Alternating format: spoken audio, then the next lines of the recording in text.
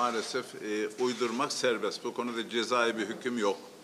Hiç kimse doğrulamadan kendi fikrini kulis bilgisi adı altında ortalığa atıyor. Açıklarımız, açıklamalarımız gayet ortadadır. Sayın Genel Başkanımız günü geldiğinde parti olarak kimin aday olacağına karar vereceklerini açıkça söyle, söylüyorlar. Dolayısıyla henüz ortada böyle bir gündem yokken maalesef bu tartışmaları çok üzücü ve gereksiz buluyoruz. Çünkü bunu daha önce yaşadık. Altılı masa toplantıları daha devam ederken, ortada seçime birkaç yıl varken sürekli olarak aday kim olacak tartışmaları özellikle yaptırıldı.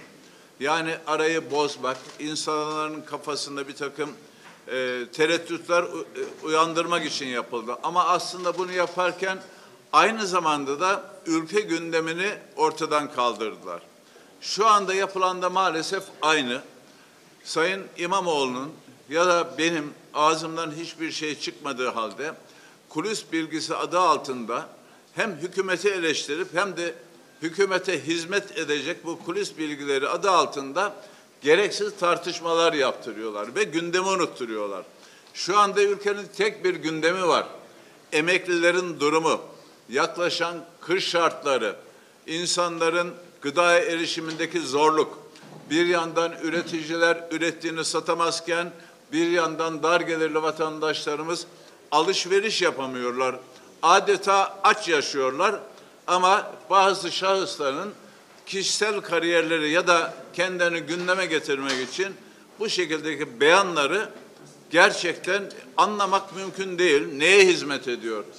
Biz her zaman söyledik partimiz aday gösterirse aday oluruz. Gündemde bunun haricinde konuşacak başka bir kelime yok. Türkçe konuşuyoruz ve gayet açık konuşuyoruz. Ee, onun haricinde söylenen sözlerin hiçbir kıymeti harbiyesi yoktur. Söylediğim gibi bence muhalefet tüm gücüyle ülkede yaşanan sıkıntıların çözümü doğrultusunda ve halka duyurulması konusunda çalışmalıdır. Bunun haricinde konuşmalar boş laftır. Boş laflarla tüketecek hiçbirimizin zamanı yoktur. Ben de gördüğünüz gibi şu anda yılbaşına kadar aşağı yukarı biten 50-60 kadar tesisimiz var. Ankara halkının hizmetine sunacağımız. Onları yetiştirme ve bir an evvel Ankara halkının hizmetine sunma çabamızdan başka bir şeyle uğraşmıyoruz. Bir de e, artık bizi tanıdınız beş yıldır. Çok konuşmuyoruz ama gerektiği zaman da mutlaka konuşuyoruz. Yani gizli, kapaklı bizim hiçbir işimiz olmaz. Her şeyimizi kamuoyuyla paylaşırız. Boş laflara, e, bazı insanların yetkisi olmadığı halde kendi kendine e, konuşmaları toplumda nifak çıkarıcı veya hükümetin işine yarayan ve gündeme unutturan çalışmalarına kulak verilmemesini tavsiye ediyorum. Durum budur. Efendim bir de İstifa için efendim. E, Öyle bir şey nereden çıkıyor? Yani en ufak bir böyle e, bunu aklınıza getirecek bir şey duydunuz mu şimdiye kadar? Bir hareket gördünüz mü? İl başkanımız burada. Her yerde beraberiz. Yani böyle bir şeyin yani olmayan bir şeyi ispat zorunda bizi bırak e, e, bırakıyorlar ki bu çok saçma bir şey. efendim bir de e, bugün Sayın İmamoğlu da Ankara'ya gelecek. Kendisiyle bir görüşmeniz olacak mı? Eğer uğrarsa görüşürüm. Biz e, bu konuda şunu da söyleyeyim. Ankara'daki 16 e, belediyemiz tamamımızda bu siyasi kumpasa, yargı sopası gösterilerek siyaseti dizayn etme çabalarına karşıyız. Bu konuda Ekrem Bey'in sonuna kadar yanında olacağımızı çeşitli açıklamalarımızda belirttik. Aynı açıklamaları da devam ediyoruz. Sayın Kılıçdaroğlu'na açılan davalar da siyasi davadır. Sayın İmamoğlu'na açılan dava da siyasi davadır. Ben hukukçuyum. Hangi kelimelerin suç olup hangi kelimelerin suç olmadığı Yargıtay kararlarında açıkça bellidir. Kaldı ki biz bu konularda yapılan hakaretleri savcılığa verdiğimiz zaman ifade hürriyeti bağlamında Avrupa İnsan Hakları Mahkemesi kararları doğrultusunda tamamına takipsizlik kararı veriliyor. Bu davanın açılması bile yanlıştır. Umuyorum yanlış bir karar verilmez ve inşallah Sayın İmamoğlu'nun e, suçlu olmadığı, herhangi bir şekilde başka kasıtla konuşmadığı konusunda mahkeme karar verir.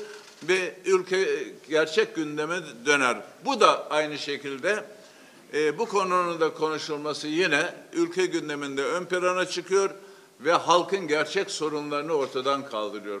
Bizlerin bir tek görevi var. Özellikle siyaset yapanların.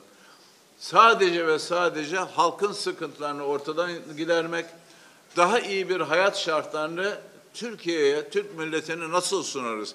Başka bir gündemimizin olmaması lazım. Bunlarla da bizim uğraştırılmaması lazım. Bunlar biliyorsunuz zamanında bizim başımıza da geldi. Uzun süre tartışıldı ama sonuçta gerçeğin ne olduğu ortaya çıktı. Ben de aynı şekilde bir an evvel bu kararın verilmesini, beraat olarak verilmesini ve ülkenin kendi gündemine dönmesini talep ediyorum. Sonuna kadar İmamoğlu'nun bütün belediye başkanları olarak yanındayız ve destekliyoruz. Hayır bir ceza çıkarsa da ne şekilde tepki göstereceğimizi, protesto edeceğimizi de e, o gün gösterir çünkü inanmak istemiyoruz. Yani yargının böyle bir karar vereceğine inanmak istemiyor. Bunu bir hukukçu olarak söylüyorum. Başkanım da hukukçudur. Kesinlikle biz beraat kararı çıkacağına inanıyoruz. Efendim Genel Başkan Özgür Özel okullarda temizlikle ilgili yaşanan problem için yerel yönetimlerimizi harekete geçireceğiz dedi. Ee, Ankara Büyükşehir Belediyesi bu konuda ne yapacak? E, dün tweet atmıştık. E, Ankara halkını ve bütün Türkiye'yi duyurduk. Diğer belediye başkanlarımız da inşallah aynı şekilde harekete geçer diye. Dün e, bir mesajla hijyen malze- malzemesi isteyen okulların bize başvurmasını istedik. Sabah itibariyle tam 496 okuldur. Şu anda sayının daha da arttığını düşünüyorum. Şimdi de kendi içimizde yaptığımız çalışmada Büyükşehir Belediyesi'nin çeşitli birimlerinde çalışan arkadaşlarımız her hafta en az 50 tane okulu cumartesi ve pazar olmak üzere temizliğini yapacaklar. Biz izleyemeyiz. Yani kent yöneticileri kentte bir problem varsa bu görev bizim değil. Bunu bakanlığın yapması, bunu hükümetin yapması diye duyarsız kalamayız.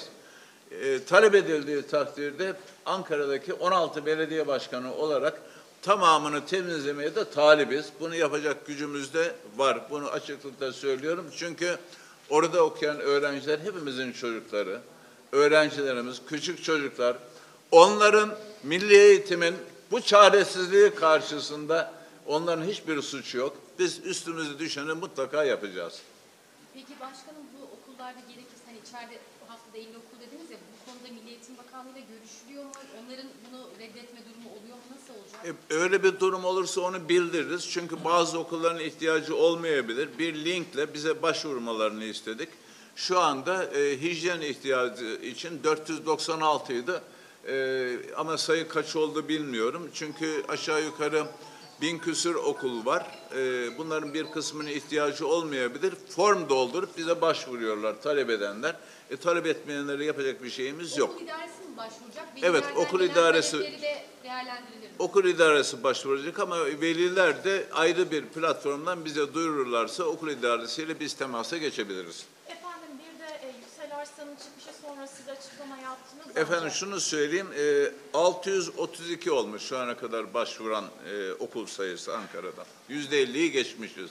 Yüksel Arslan'ın çıkış sonrası açıklama yaptınız ancak işte e, tüzük kurultayında sizin sitem etmeniz, sonrasında İmamoğlu'nun parti içini tartıştırmama uyarısı sonrası o çıkışın gelmesi dikkat çekti.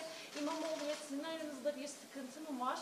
Sorusu da yorumlara neden oldu. Nasıl değerlendiriyorsunuz? Hiçbir sıkıntı yok. Olması da mümkün değil. Bizler Cumhuriyet Halk Partisi'nin belediye başkanlarıyız. Biz ancak hizmette e, rekabet ederiz bir, birbirimizle. Başka bir konuda rekabet etme e, söz konusu olmaz. Çünkü söylediğim gibi partinin kuralları bellidir. Cumhurbaşkanı adayının nasıl seçileceği, nasıl tespit edileceği bellidir. E, böyle olduğuna göre şu anda da gündemde e, böyle bir e, aday belirleme konusu söz konusu olmadığına göre e, böyle bir konu asla gündemimizde yok. Biz işimize bakıyoruz. Bir de Genel Başkan e, ABD dönüşü hem Ekrem Bey'le hem de sizinle birlikte üçlü bir toplantı yapacağını söyledi. Bu toplantının sebebi ne? E, sebebi belli. Biraz önce söylediğim gibi gereksiz kendi kendine görev alıp iş edinen arkadaşların konuşmaları ve bu tartışmaları kamuoyunun e, sürüklemeleri. Biz kesinlikle yanımızdaki herkesin yani bizi seviyorsa da e, bu konulara girmemesi gerektiğini kendilerine biz ikaz ediyoruz açık bir şekilde. Umuyorum herkes üstüne